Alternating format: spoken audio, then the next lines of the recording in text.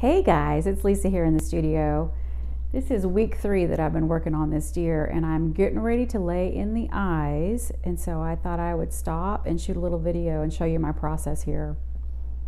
So I've laid these eyes in two different ways. This is what I love about collage is that these papers are just taped down right now, but I can put them side by side and make decisions based on the paper color or the value of the paper and the placement of the paper. So let me show you a few things here. Starting with, I guess, the white of the eye. So in this one, there's just a tiny bit showing. And this one, oops, okay, that was my underlid. This one has more showing. So I've decided that I like this one better. So I'm just gonna leave a little bit of the white there.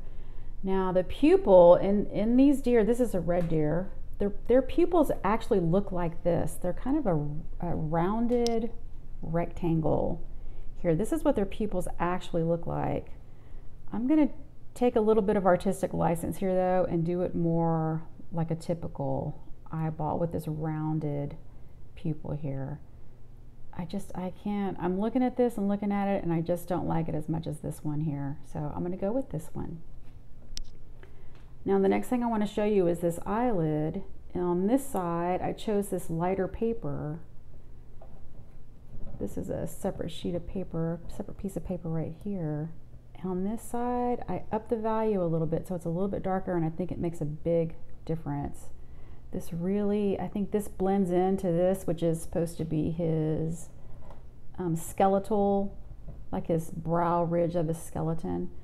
So I'm going to go with this paper on this side. And then for this top part here,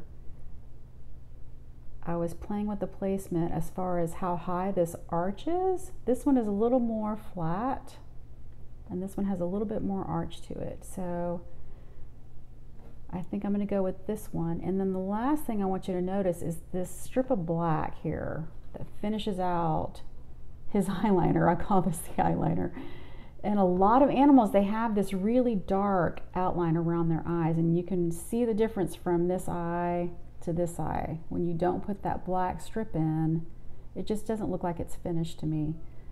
So all in all oh and one more thing here. This ridge here has three separate sheets of paper. So there's this matte page this paper with a little blue texture on it and then this paper. And on this side it's only this background paper. So I like all this visual interest going on here. This line right here, this blue line of the map, we talked about the visual flow last week. It's pointing your eye around. It's telling your eye, look around this way. Stay in this area right here, this circular pattern. So you can use your papers to direct people's eye where they need to focus. Okay, so this is, all in all, this is 11 different pieces of paper to make this one eye. Okay. So I'm going to uh, deconstruct it and glue it down for you so you can see what it actually looks like when it's glued down.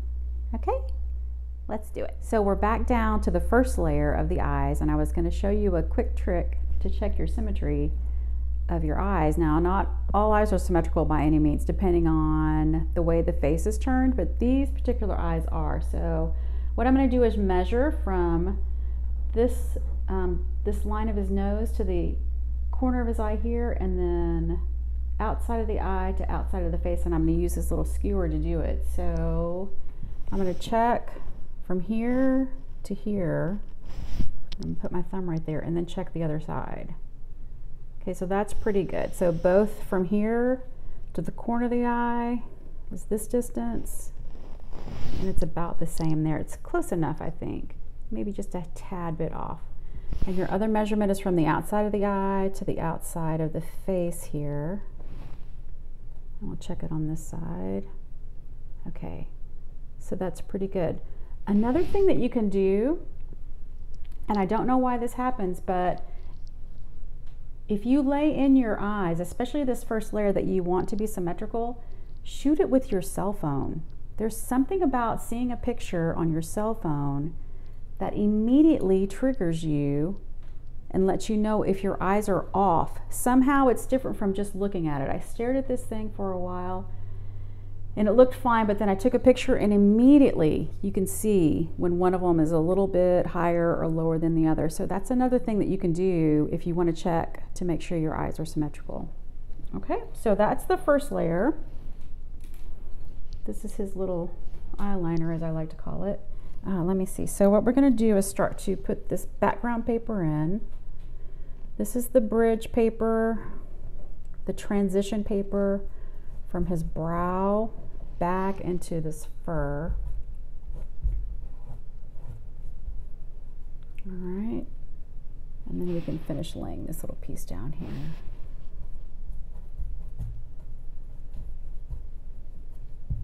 Okay, now we're going to put the white of the eye in. I'm going to push because I just wanted a tiny bit to show, if I remember. Let's check that against the iris. Okay, so I think that looks good. Just a little bit of white showing. So we'll finish to glue, finish gluing that down. Remember, it's always glue under and over each piece.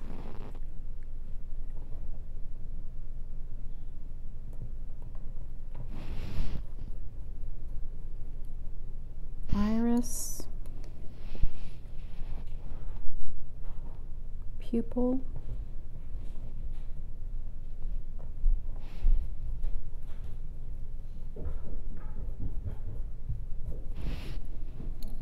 Now we're going to finish off his brow ridge up here. And I remembered that I want it to be a little arched.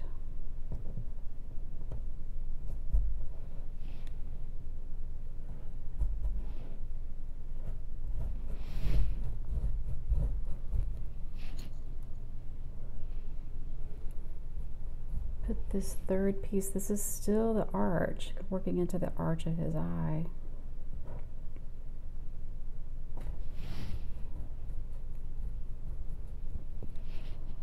And now the lid, which goes actually over the eye. This is important in the placement. Your, your eyelid actually does cover up part of the iris and your pupil, so you don't want to put it too high. We're going to cover up part of the eye. Let that come around.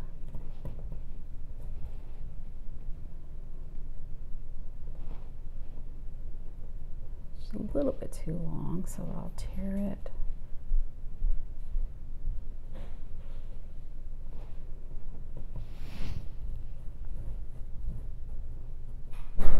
All right, now she gets her eyeliner.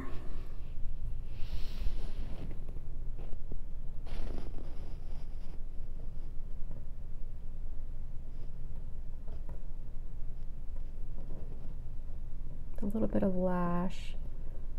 Animals often have these long lashes coming off of their eyes. Okay. And the highlight. Or the reflection.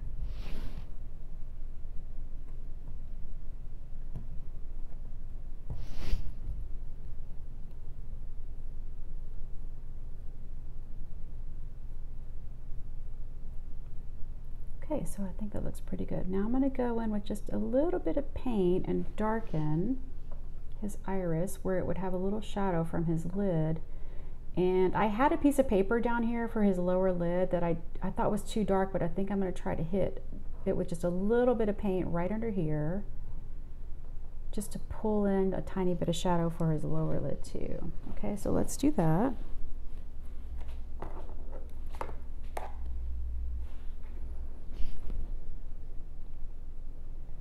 This is raw umber. It's pretty dark with a tiny little brush. This is probably a zero or a one here.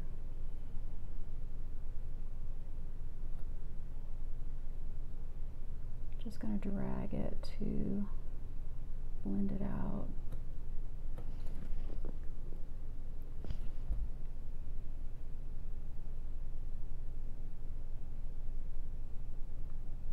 Does it take much at all.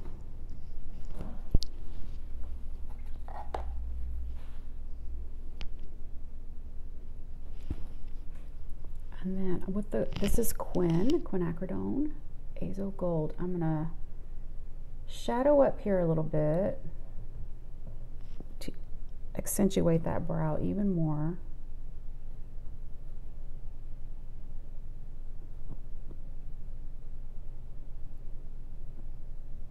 I'm going to put in the paint and then just feather it out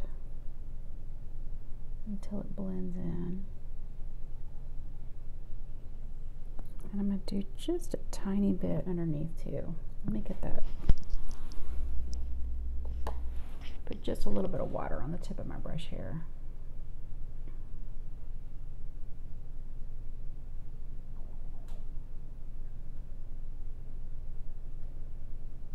Same thing, I'm going to paint it on real lightly and then just feather it out.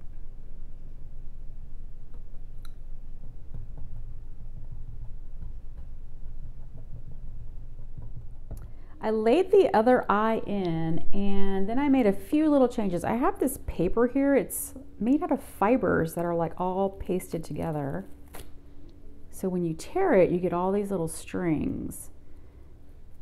And since the eyes were so dark, I went in and put, I had black lashes first, but I tore this paper, I put in white lashes, I put a highlight here, I put a little highlight here to separate the pupil from the iris, and then I put in just a teeny tiny bit of blue down here. And I think because everything was so dark, all these highlights really make the eyes pop now. Okay, I hope you enjoyed those little tips. Take what you need and leave the rest. I'm Lisa. Follow me on Instagram at a pinch of wonderful. Happy creating, and I'll see you next time. Bye bye.